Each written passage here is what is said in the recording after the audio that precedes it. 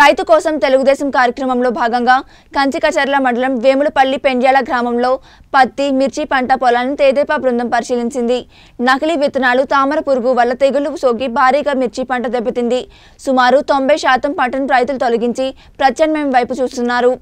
ఉన్న కొద్ది పంటలోనూ ఎకరాకు కేవలం నాలుగు క్వింటాల్ లోపే దిగుబడి వచ్చే అవకాశం. గత సంవత్సరం క్రాప్ ఇన్సూరెన్స్ను తక్షణమే చెల్లించాలని టీడీపీ నాయకులు డిమాండ్ చేశారు. రాష్ట్రంలో నకిలీ విత్తనాలు అమ్మకాలు జరుగుతుంటే కళ్ళు మూసుకుని కూర్చున్న ప్రభుత్వమే నేడు రైతులకు జరిగిన నష్టాన్ని భర్తీ చేయాలన్నారు.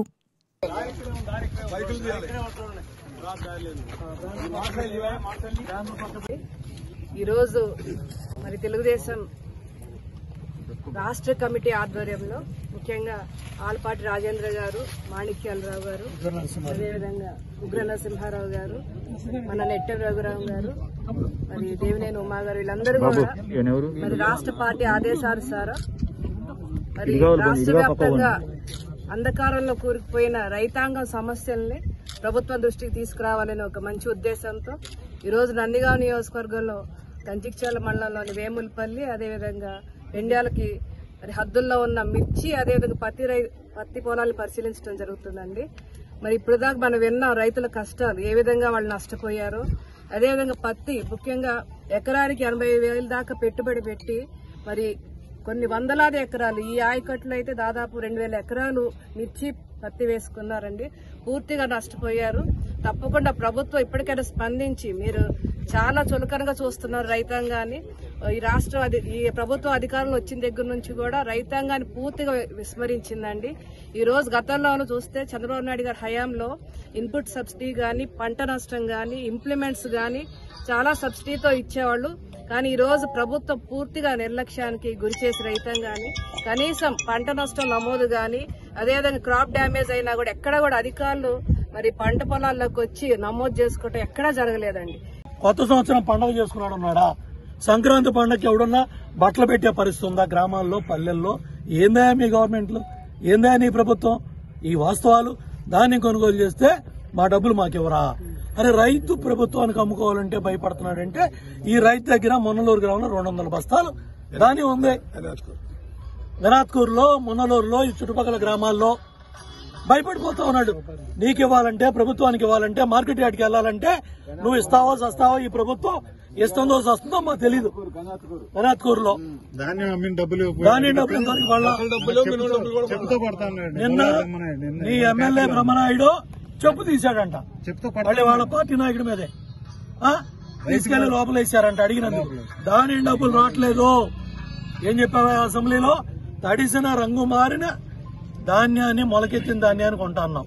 అసలు బంగారంలో ఉన్న ధాన్యాన్ని కొనే దిక్కు లేదు. నువ్వు మమ్మల్ని ఉద్ధరిస్తావా? మెచ్యూర్ రైతు వాడు దగ్గర లక్ష యాభై వేల నుంచి రెండు లక్షలు పెట్టుబడి పెట్టాడు. పత్తి రైతు డెబ్బై అరవై వేలు పెట్టుబడి పెట్టాడు. ధాన్యం కొనే దిక్కు లేదు. పద్నాలుగు వందల డెబ్బై రూపాయలు రావాలి. వెయ్యి రూపాయలు కొనే దిక్కు లేదు. ఎనిమిది వందలు తొమ్మిది వందలు వెయ్యి. ఇష్టారాజ్యంగా దోపిడీ చేస్తా ఉంటే బూతులు మంత్రి ఏం చేస్తున్నాడయా ఇవాళ గ్రామాల్లో బియ్యాన్ని ఇవాళ ఈ చేత్తో బియ్యం ఇస్తున్నారు ఆ చేత్తో ఎనిమిది రూపాయలు తొమ్మిది రూపాయలు పది రూపాయలు కొనుక్కొని కాకినాడ పోర్టు నుంచి ఇతర దేశాలకు తీసిపోయి బియ్యం అమ్ముకుంటుండే ఎమ్మెల్యేలు మండలానికి ఒక బ్రోకర్ను శాసనసభ్యులు మంత్రులు ఉన్నారంటే ఈ ప్రభుత్వం అసలు ఏ విధంగా ఎడిపోతా ఉంది? పండగ నాడు ఇవాళ చక్రిచ్చే పరిస్థితి లేదు. బియ్యం తప్ప ఏమన్నా కోటాలు ఏమైనా ఇస్తున్నారు అసలు? ఏమీ లేదు. కాబట్టి ఇవాళ రాష్ట్ర పార్టీ చంద్రబాబు నాయుడు గారు ఇవాళ మా నాయకులందరినీ కూడా ఆలపాటి రాజేంద్ర గారు ఉగ్ర నరసింహారెడ్డి గారు మాజీ ఎమ్మెల్యే గారు మాజీ మంత్రి ఆలపాటి రాజేంద్ర గారు మాణిక్యాలరావు గారు మా పార్టీ నాయకుడు అలాగే పార్లమెంట్ అధ్యక్షులు రఘురాం గారు అలాగే జగ్గేపేట మాజీ శాసనసభ్యులు తాతయ్య గారు అట్లాగే నందిగామ మాజీ శాసనసభ్యురాలు స్వామి గారు మేమందరం కూడా రైతాంగం అంతా కూడా ఇన్ని వందల మంది పొద్దున్నే రోడ్డెక్కారంటే అర్థం చేసుకోండి. ధాన్యం పరిస్థితి ఎలా ఉంది? పత్తి పరిస్థితి ఎలా ఉంది? ఈ మిర్చి పరిస్థితి ఎలా ఉంది? ఇది పీకాలా పడేయాలా పెట్టడానికి పీకడానికి కూడా డబ్బులు లేక పక్కన పడేశారు. ప్లస్ పీకి మొక్కజొన్న వేస్తే అది కూడా రాని పరిస్థితి ఉంది. తడి కడితే ఒక తడికి ఎంత అవుతుంది? నీకు తడి అంటే అర్థం తెలియదు నవ్వులాట నీకు. ఒక తడికి ఎంత ఖర్చు పెట్టారు? రెండు వేలు. అదేమంటే తడి అంటే ఏంటి అంటున్నాడు చంద్రబాబు గారిని? జగన్ రెడ్డి తడి అంటే ఏంటో తెలియదు. చేలో చేయబెట్టం అంటే తెలియదు. బల కింద చేయి మీకు తెలుసు. చేలో చేయబెట్టం అంటే ఒక కింటా పత్తి వస్తుందా? లేదా ఒక?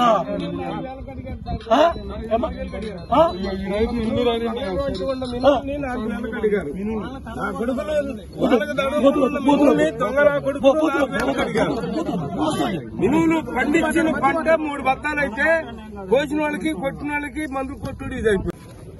వేములపల్లి అమరారం పెండేల ఈ చుట్టుపక్కల ప్రాంత రైతాంగం అంతా కూడా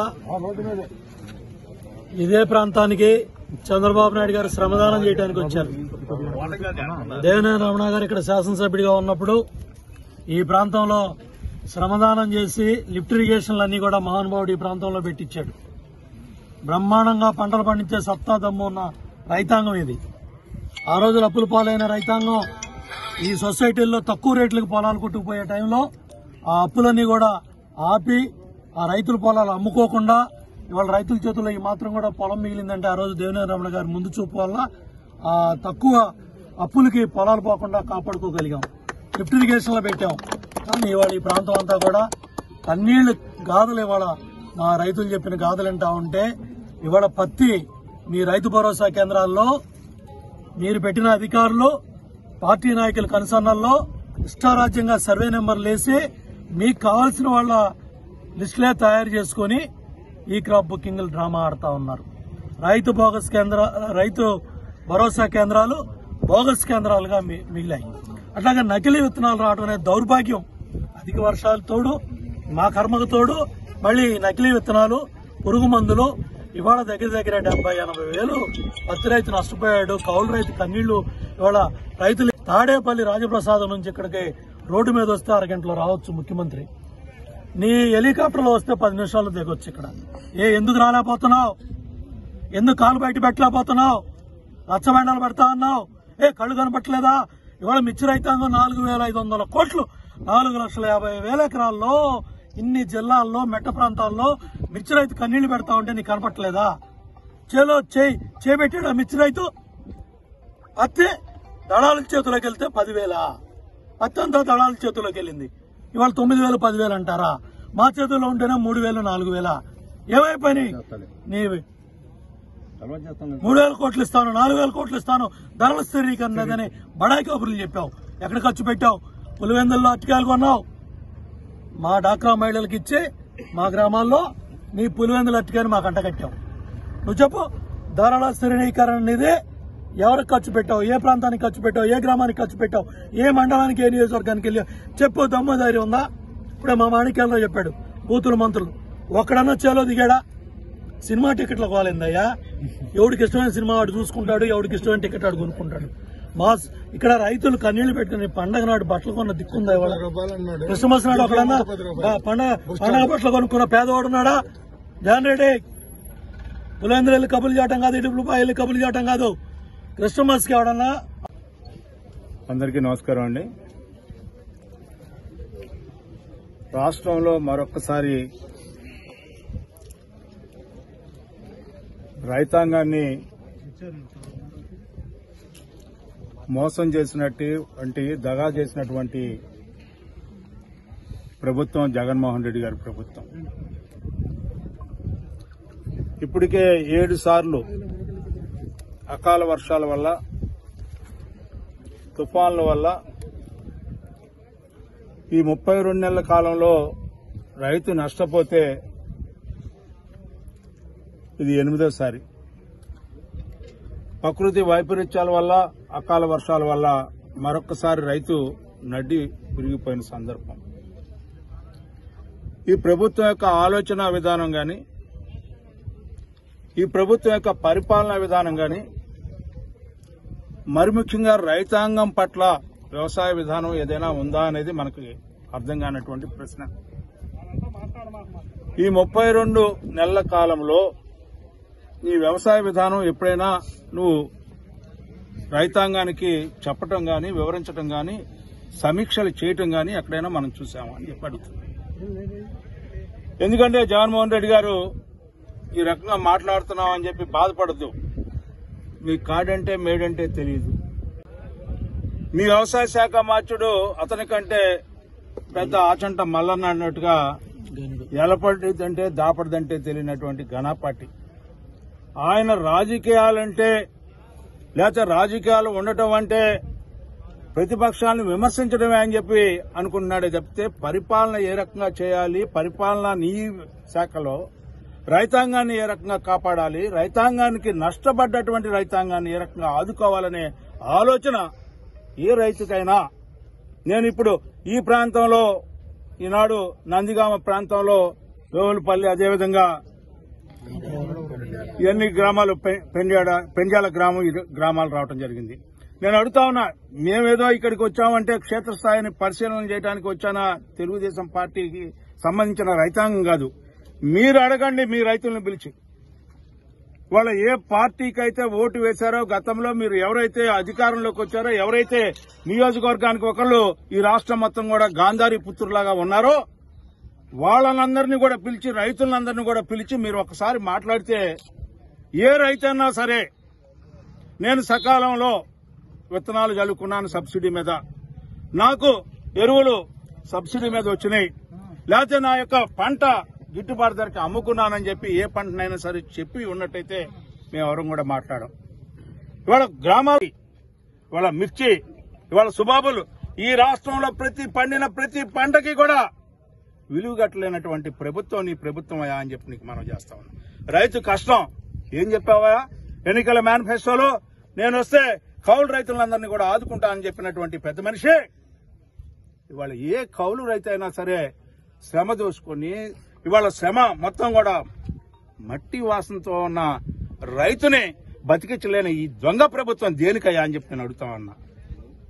అలాంటి మట్టి వాసనతో కూడినటువంటి రైతు మూడు పూట్ల అన్నం పెడుతున్నాడయ్యా నీకు అన్నం పెడుతున్నాడు నాకు అన్నం పెడుతున్నాడు సమస్త మానవాళికి అన్నం పెట్టే అన్నపూర్ణ లాంటి రైతులు నాశనం అయిపోతుంటే కనీసం ఇంట్లోంచి బయటికి రాకుండా ఏమొస్తావులే? నీ జిల్లాలోనే వందలాది మంది వరదలు వచ్చి చచ్చిపోతే పైనుంచి వీక్షించినటువంటి పెద్ద మనిషి. ఎవరైతే ప్రతిపక్ష నేతగా ఉండి ప్రజలతో మమేకమైన నేత అయినటువంటి చంద్రబాబు నాయుడు గారు ఆ రోజు నుంచి ఈ రోజు వరకే ఎనభై మూడు నుంచి ఈ రోజు వరకు కూడా తెలుగుదేశం పార్టీ నాయకుడు గాని కార్యకర్త గాని నాలుగు గోళ్ళ మధ్యలో కాదు నలుగురు మధ్యలో ఉండాలనే విధానానికి కట్టుబడి ఈ రోజు కూడా కష్టంలో నష్టంలో బాధలో దుఃఖంలో సంతోషంలో అన్నిటితో మమేకమై ఉండే తెలుగుదేశం పార్టీ నాయకత్వం ప్రజల్లోకి వెళ్ళిన తర్వాత నువ్వు వెళ్ళావయ్యా?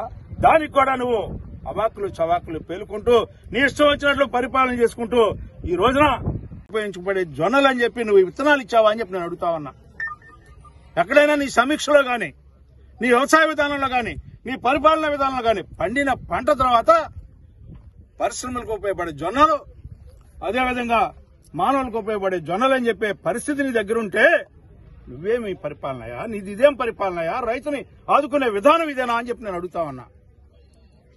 అంతేకాదు ఇవాళ గోతాలు ఇవ్వాల్సిన ధాన్యం సేకరణ గోతాలు ఇవ్వాల్సిన ప్రభుత్వం గోతికాడు నక్కలాగా ఉంది తప్పితే ఈ రోజున రైతుని తెచ్చుకోమంటే గోతం ఎక్కడ తెచ్చుకుంటాడా అని చెప్పి నేను అడుగుతా ఉన్నా.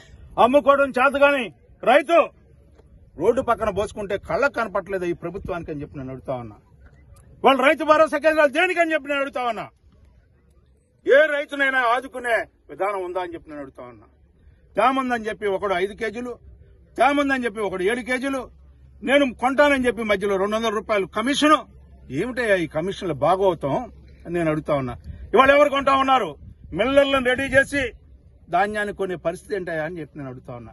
ప్రభుత్వం నీ సివిల్ సప్లై కార్పొరేషన్ ద్వారా గానీ మార్కెటింగ్ శాఖ ద్వారా గానీ నువ్వు ధాన్యాన్ని కొనుగోలు చేస్తున్నావా? రైతు దగ్గర నుంచి స్వయంగా అని చెప్పి నేను అడుగుతా ఉన్నా. ఇవాళ మిల్లర్లను రెడీ చేసుకుని మిల్లర్లకి బ్యాంక్ గ్యారెంటీలు ఇచ్చి దళారీలాగా వ్యవహరిస్తా ఉంది ఈ ప్రభుత్వం. మిల్లర్లకి నువ్వు రైతుకి మధ్య దళారీలుగా వ్యవహరిస్తున్న నాలుగు గోళ్ళ మధ్యలోనూ నాలుగు గదుల మధ్యలోనూ కూర్చొని పరిపాలన చేయటం కాదు. క్షేత్ర స్థాయిలో ఏం జరుగుతా ఉంది? ఏ రకమైన నష్టం జరుగుతా ఉంది? ఎందుకు? రైతు ఆత్మహత్య చేసుకుంటా ఉన్నాడు ఈనాడు ఈ రాష్ట్రంలో అని చెప్పి ఒక్కసారి ఆలోచన చేశావా అని చెప్పి నేను అడుగుతా ఉన్నా. ఎందుకు ఆత్మహత్యలు జరుగుతా ఉన్నాయి? దేని జరుగుతా ఉన్నాయి? వాడు వడ్డీ లేని రుణాలు ఇచ్చానంటున్నావు ఎంతమందికి ఇచ్చావు? ఏ రకంగా ఇచ్చావు? వంద కోట్ల ఇచ్చేది నువ్వు. గత ప్రభుత్వంలో ఐదు వందల తొంభై రెండు కోట్లు ఇచ్చారని నీకు దాఖలా ఉంటే ఇవాళ వంద కోట్లు ఇస్తే అంటే సకాలంలో రైతు తన యొక్క రుణాన్ని కట్టుకోలేకపోతున్నాడని నీకు అర్థం కాలేదా అని చెప్పి నేను అడుగుతా ఉన్నా. ఎందుకంటే వ్యవసాయం బాగుందా బాగోలేదా అనేది నీకు అవగాహన లేదా అని చెప్పి నేను అడుగుతా ఉన్నా. నీ యంత్రాంగం ఏమైపోయిందని చెప్పి నేను అడుగుతా ఉన్నా. అంటే నీ యంత్రాంగం గాని నువ్వు గాని నీ పాలన గాని ప్రతిపక్ష నేతల్ని అరెస్ట్ చేసే విధానంలో గాని ప్రతిపక్ష నేతల్ని హింసించే విధానంలో గాని ప్రతిపక్ష నేతల్ని అవమానపరిచే దానికే నువ్వు పూనుకున్నావు చెప్తే ఈ రాష్ట్రంలో పాలన చేయాలని గాని ఈ రాష్ట్రంలో ఉన్న రైతాంగాన్ని ఆదుకోవాలని గాని నీకు ఏ ఒక్క రోజు కూడా లేదు అని చెప్పి చెప్పడానికి అనేక ఉదాహరణలు చెప్పి నీకు మనం చేస్తా ఉన్నా. రైతు భరోసా కేంద్రాలు కట్టావు.